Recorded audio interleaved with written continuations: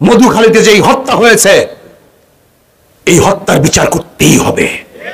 এই হত্যার বিচারের জন্য ইনশাআল্লাহ আমরা মাঠে আসি, থাকব। যতদিন পর্যন্ত প্রত্যেকটা অবৈধ অবৈধ হত্যার বিচার না হবে, ততদিন পর্যন্ত আন্দোলন সংগ্রাম চলতেই থাকবে, চলবে ইনশা আল্লাহ মোহাম্মদ ওয়ালা আলী মোহাম্মদ।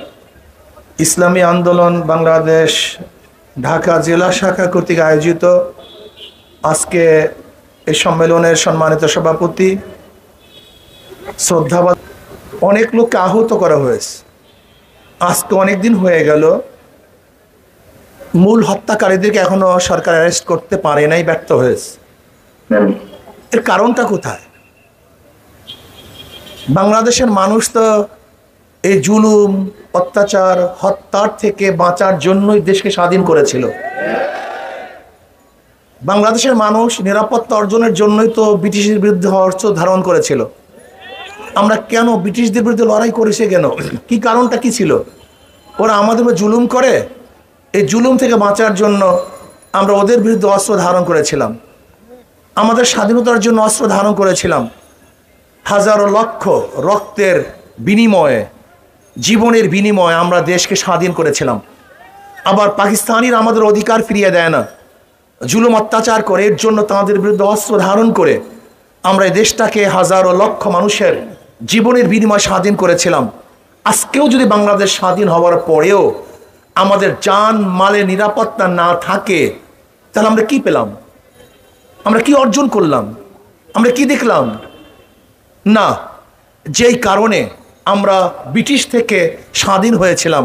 যেই কারণে আমরা পাকিস্তান থেকে আলাদা হয়েছিলাম, সেই স্বাধীনতা আমরা এখনও ভোগ করতে পারি নাই। সে অধিকার এখনও বাস্তবায়ন হয় নাই। আমরা পাকিস্তানের বিরুদ্ধে কি বলেছিলাম? ওরা বৈষম্য করে, চাকরি ওরা নেয়, আমাদেরকে চাকরি দেয় না। আমাদের চাল ওরা নিয়ে নেয়, কিন্তু ওরা কম দামে খায়, আমরা বেশি দামে খাই।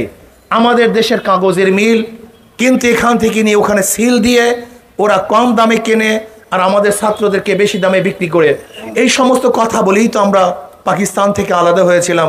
কিন্তু এখন আমি প্রশ্ন করি, চাকরি কাঁদের? এদেশের জনগণের না আওয়ামী লীগের? জনগণের তো চাকরি নয়, আওয়ামী লীগের চাকরি। এদেশ পেট পুড়িয়ে কারা খায়? জনগণ খায় না আওয়ামী লীগ খায়? এদেশে খুন খারাপ করার পরেও নির্বিচারে তারা রাস্তায় ঘুরে বেড়ায়। বিচার নাই।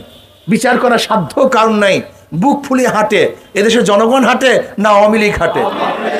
এদেশ থেকে হাজার হাজার, লক্ষ লক্ষ, কোটি কোটি টাকা পাচার এদেশের জনগণ করে না, আওয়ামী লীগ করে। এদেশের একশো ধর্ষণ করার পরে জনগণ সেঞ্চুরি পালন করে না, বরং আওয়ামী লীগ সেঞ্চুরি পালন করে। এদেশের স্বামীকে বেঁধে রেখে স্বামীর সামনে স্ত্রীকে জনগণ ধর্ষণ করে না, আওয়ামী লীগ ধর্ষণ করে। এদেশের মানুষকে বেঁধে রেখে হত্যা মানুষ করে না, আওয়ামী লীগ করে। তার মানে আমাদের স্বাধীনতা কোথায়? আপনারা জানেন, এদেশ কেন স্বাধীন হয়েছিল?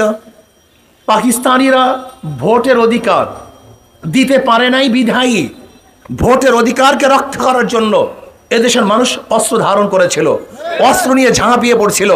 আজকে আমি আওয়ামী সরকারকে বলি, পাকিস্তানের বিরুদ্ধে যেরকম মানুষ ভোটের অধিকারকে রক্ষা করার জন্য অস্ত্র ধারণ করেছিল, ঝাঁপিয়ে পড়ছিল। আজকে আপনি ভোটের অধিকার দিতে ব্যর্থ হয়েছেন। ভোটের অধিকার দিতে ব্যর্থ হয়েছেন।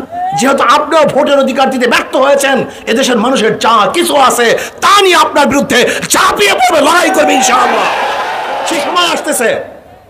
আজকে আমরা কি দেখেছি? উগ্রবাদী হিন্দুরা এদেশের সাম্প্রদায়িক সম্প্রীতি নষ্ট করার জন্য চক্রান্ত করতেছে। আমি মনে করি এটাও মুদির, মুদি ম্যাজিকের একটা অংশ বিশেষ। মুদি মুদি ম্যাজিক কি দেখাতে চেয়েছিল? যে দেশের মুসলমানদের হত্যা করবে, মুসলমানরা তাদের বিরুদ্ধে ঝাঁপিয়ে পড়বে, ওরা নিজেরা মন্দিরের মধ্যে অগ্নিসংযোগ করবে, নাম দেবে মুসলমানদের, এখানে একটা সাম্প্রদায়িক দাঙ্গা সৃষ্টি করবে, ওরা ভোট কাটবে কিন্তু আমরা খুব সচেতন আছি। আমরা মোদির ম্যাজিক বুঝে গিয়েছি, এই হত্যাকাণ্ডের কারণটা কি? আমরা চুপচাপ ধীরস্থিরভাবে সামনে অগ্রসর হচ্ছে। আমরা বিচার চাই। যেহেতু শেখ হাসিনা তো মোদির কাছে কমিটমেন্ট করে চলে আসছে। যে আপনি থাকবেন প্রধানমন্ত্রী, আমি থাকব মুখ্যমন্ত্রী। এই জন্য কোনো কথা বলতে পারে না।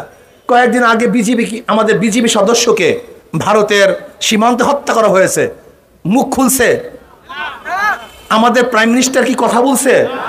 বলার সাধ্য তার নাই। সে তো গোলামি চুক্তি করে সেখান থেকে চলে এসেছে ক্ষমতার জন্য। কয়েকদিন আগেও আমাদের বর্ডারের মধ্যে আমাদের বাংলাদেশি মানুষকে হত্যা করা হয়েছে। বারবার হত্যা করা হয়। কিন্তু এদেশের প্রাইম মিনিস্টার, প্রশাসন তাদের বিরুদ্ধে অস্ত্র তাক করতে পারে না।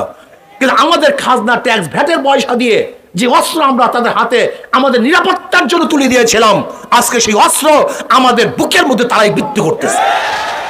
আমাদেরকে ধ্বংস করার জন্য অস্ত্র ব্যবহার করা হচ্ছে।